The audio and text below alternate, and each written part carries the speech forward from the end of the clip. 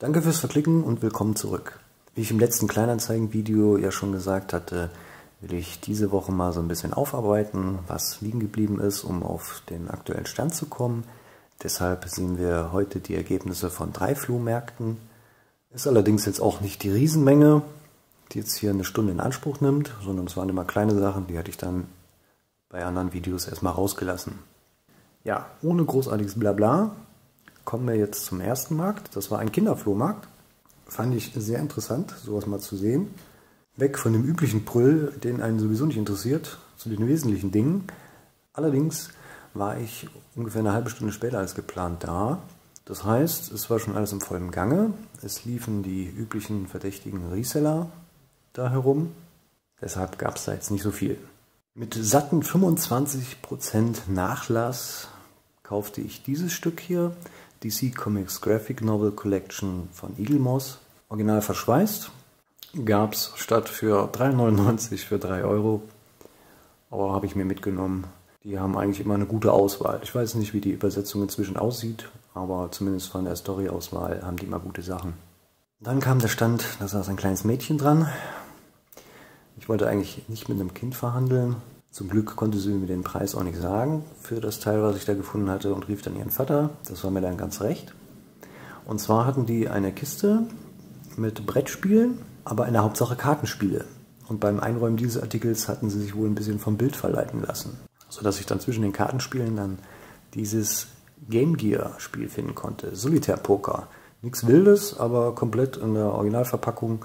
Ich habe kein Game Gear, hatte auch nie einen aber ich fand es ganz interessant, sowas mal zu finden und habe es für 2 Euro mitgenommen. Zwischen einem Lieferwagen und dem Stand selber eingekeilt fand ich dann mit Mühe und Not diese PC Big Box Wing Commander 4 The Price of Freedom. Wing Commander war ja damals in den 90ern so ein Titel, wo man nicht dran vorbeikam. Damals gerade auf dem Amiga, Wing Commander 2. Sehr schönes Spiel. Ja, da nimmt man sowas natürlich gerne mit. Hier sieht man nochmal auf der Rückseite die ganzen Videosequenzen, die da plötzlich in diesen Spielen möglich waren. Das war ja eine Sensation damals. Ja, das Spiel gab es für 2 Euro. Eine weitere Big Box gab es an dem Gemeinschaftsstand zweier Damen. Und zwar haben wir hier Command Conquer Teil 3. Sollte ein Euro kosten, habe ich mitgenommen. Sie hatte noch weitere Spiele da gehabt. Ich glaube, zwei oder drei Stück waren das. Waren aber in einem sehr schlechten Zustand. Die Verpackungen habe ich dann liegen lassen. Ja, aber ihre Kollegin hatte auch was für mich. Ungefähr einen Meter weiter lag dann dieser doch schon leicht verranzte PlayStation 2 Karton da neben einem Stapel Spiele. Ich wollte eigentlich nur nach den Spielen fragen. Und da sagte sie mir, ja, also ich würde die Konsole mit drei Spielen verkaufen, würde ich für 20 geben. Ich überlegt, ja, hm, hm, gut, wäre dann die Konsole für 14 plus dann drei Spiele für meine obligatorischen 2 Euro. Ich habe mich dann für diese drei Titel entschieden und SpongeBob und Fußball liegen lassen. Da haben wir einmal Defender for All Mankind, das ist so ein Flugzeugballerspiel. The Italian Job zum Kinofilm und Naruto Ultimate Ninja 4. Naruto hatte ich auch schon länger auf dem Schirm. Ich kenne die Serie zwar nicht und es ist eigentlich nicht so meine Richtung, aber interessiert war ich trotzdem. Die herrlich leise schnurrende PlayStation 2 Slim mit allen Kabeln und 8 MB Memory Card sowie die drei Spiele gab es dann wie gesagt für 20 Euro. Karton habe ich jetzt nur noch mal fürs Video aufbewahrt, wird aber gleich entsorgt. Mangels privater Angebote war es das dann auch schon soweit. Bin dann auch ein paar Mal rauf und runter gelaufen über den Flohmarkt, aber da war dann von privater Hand nichts mehr zu sehen. Dafür baute gerade ein Videospielhändler seinen Stand auf.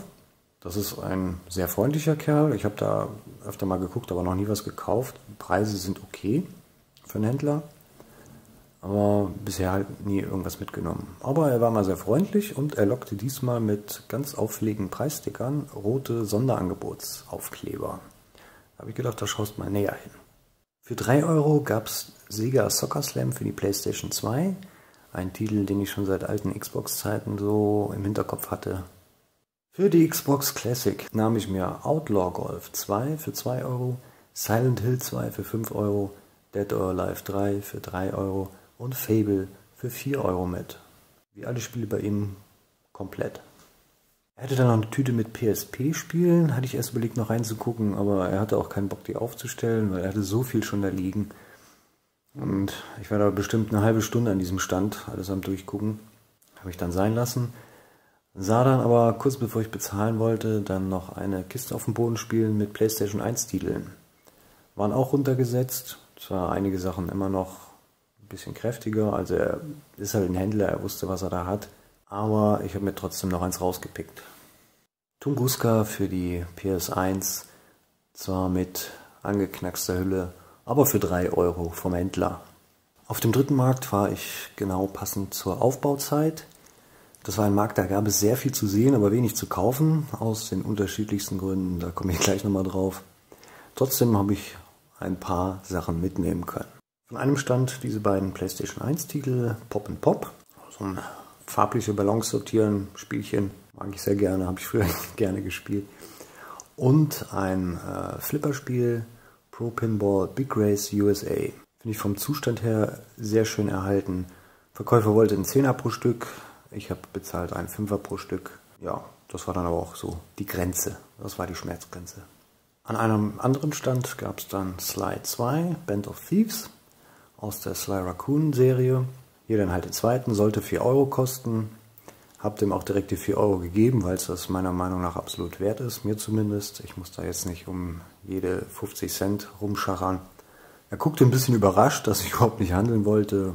es war wie gesagt für mich okay. Hier nochmal die Ausbeute gesamt, damit ihr nicht nur auf die Tischplatte gucken müsst. Ja, den restlichen Flohmarkt über, ich bin bestimmt fünfmal rauf und runter gelaufen. Es waren Sachen zu sehen, da war zum Beispiel die Dame, die äh, gerade Wii-Spiele auspackte, ein Karton voll. Ich wollte da mal nach einzelnen Titeln gucken.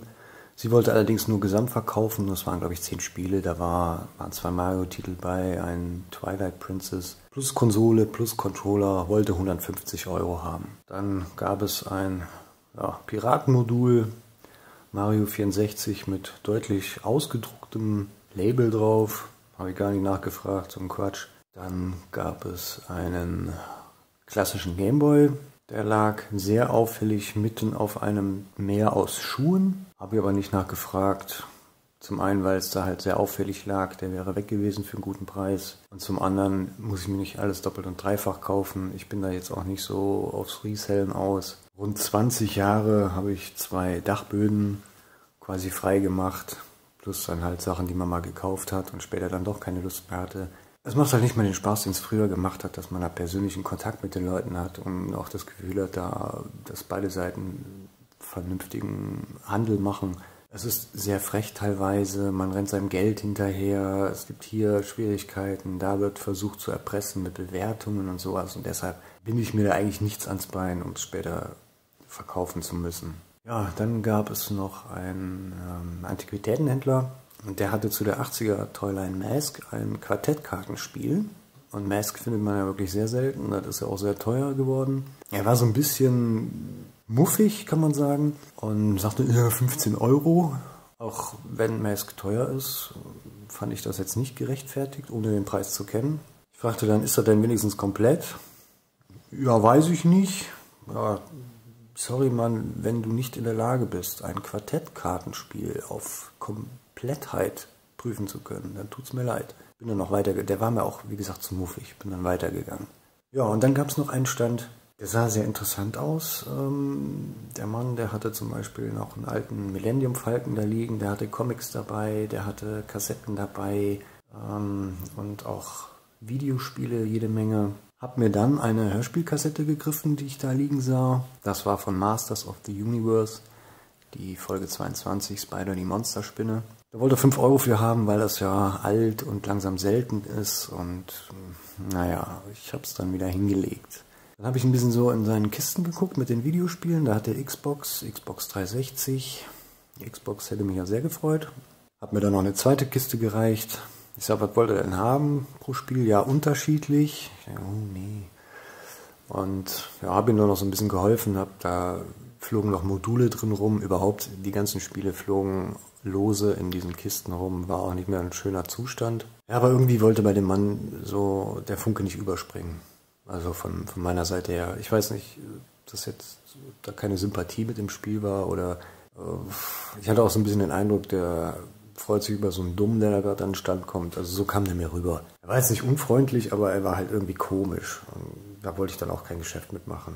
Hab mir das dann nochmal so durchgeguckt, die Spiele, aber bin dann auch gegangen. Ja, wir sind jetzt auf dem aktuellen Stand, was Flohmärkte angeht, was Kleinanzeigen angeht. Es sind noch Sachen unterwegs.